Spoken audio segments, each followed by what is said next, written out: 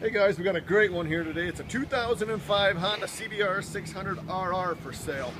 We got this thing priced right at $49.99. It's liquid silver and black paint, has a fender eliminator kit, flush mount, front turn signals, and tinted windscreen. This bike's sharp. It's a great bike for only $99 a month.